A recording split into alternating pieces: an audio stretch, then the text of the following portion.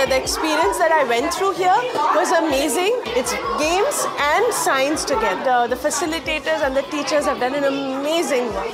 I never expected that kids would come out with this kind of solutions. I think what you're doing is introducing the children to this design thinking concept, which is the key to the future, where think about the problems, combine it with your own learnings, try to combine, do a teamwork, make a product. I think this is absolutely fabulous and brilliant.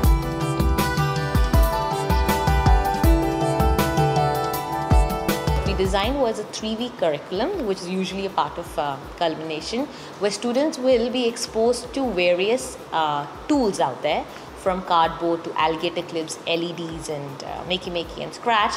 And maker challenges will be given in every one hour, where students are now creating authentic products that help promote wellness. So we began with something that's low tech, such as cardboard, and we said, okay, everyone's here. Uh, your first maker challenge is to create a game that reduces stress, and we give them 45 to, no, sorry, not 45, 20, 25 minutes to a May. So they ended up creating various games around that.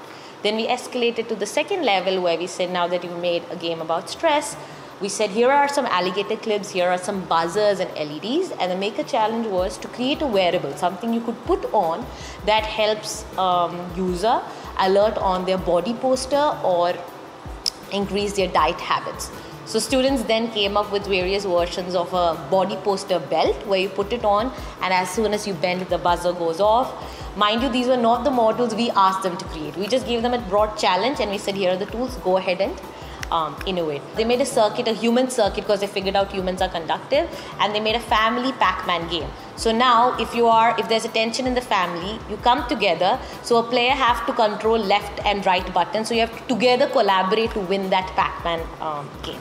And what we see happening here is. Uh, oh, there's a multidisciplinary environment that we're trying to aim for with the Maker integration. So students are coming in a biology class with that biology content, but when we give these tools, the concepts of circuitry that is coming, there's also the computer programming language that is coming.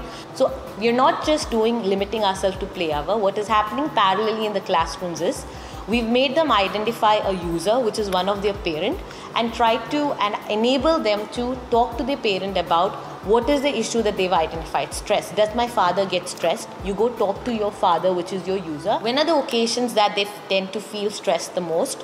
What is the kind of product I can create that would help reduce your stress? So we bought in the cycle of design thinking and building empathy around that.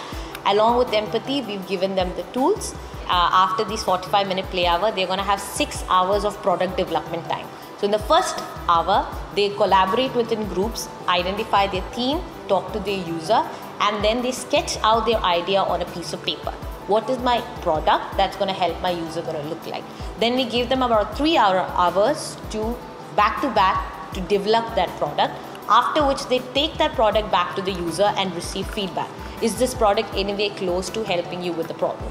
We have one cycle of that, and finally, on the 27th, the user, which is the parent, is invited to come and check the product and see to what extent has that helped address that issue of wellness or that issue of body posture or that issue of um, exercise. So that's how we are going around with the formal integration of the team.